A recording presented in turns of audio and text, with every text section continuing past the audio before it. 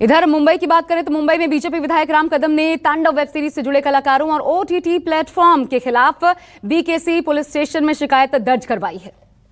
देश भर में तांडव वेब सीरीज़ के खिलाफ विरोध प्रदर्शन किया जा रहा है। हमारे साथ हैं बीजेपी विधायक राम कदम और उनके कार्यकर्ता। उनसे बात करने के हम ये पहुँचे हैं बीकेसी पुलिस स्टेशन में शिकायत दर्ज कराने के लिए। आप बीकेसी पुलिस स्टेशन में शिकायत दर्ज कराने के लिए आए हुए हैं।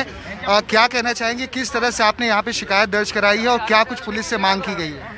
देखिए अमेजॉन प्राइम वीडियो ने जिस प्रकार का कुकर्म दुस्साहस किया है तांडव की विवादित वेब सीरीज़ को प्रसारित करके तो उस कारण समूचे देश की और विश्व भर के हिंदू भाई भाइयों की भावना आहत हुई है उसे ठेस पहुँची है।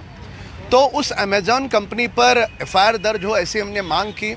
सारे वीडियोस पुलिस को दिखाए। पुलिस ने भी स्वीकारा कि अमेजॉन की ओर से ये दुस्साहस हुआ है और उन्होंने एफआईआर लेने की ओर आरंभ कर दिया है। इस प्रकार से उन्होंने हमें आश्वासित किया है। जब तक वे माफ़ी नहीं मांगते और पोर्टल से विवादित दृश्य नहीं हटाते, सारे देशवासी अमेजॉन का एक भी प्रोडक्ट नहीं खरीदे, उसे बहिष्कृत करें और अमेजॉन प्राइम वीडियो का जो ऐप है, उसे डिलीट करके उन्हें सबक सिखाए। सैफ अली खान एक प्रतिभाशाली और कलाकार है। उनके कला के प्रति मुझे आदर और सम्मान है। जब तांडव की स्क्रिप्ट सैफ अली खान सुन रहे थे, तब उन्होंने अपने कानों में कौन सी रुई डाल के रखी थी? क्या कारण है कि उनको यह विवादित जो दृश्य है, वो जब सुनाया जा रहा था तो सैफ अली खान ने उस निर्देशक को, निर्माता को रोका क्यों नहीं? तमाम जो अमेजोन और फ़िल्म से वेब सीरीज़ से जुड़े हुए तमाम जो कलाकार हैं, वो माफ़ी मांगे और उस कंटेंट को जल्द से जल्द डिलीट किया जाए। कैमरा प्रहलाद सिंह के साथ दीपक दुबे न्यूज़ ट्वेंटी मुंबई।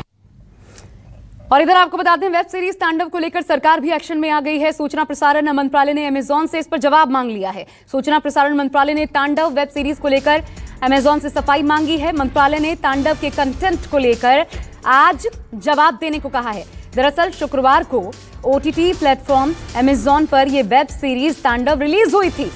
और रिलीज़ हुई और इधर विवाद शुरू हो गया। लोगों ने कुछ सीन्स पर आपत्ति जताई।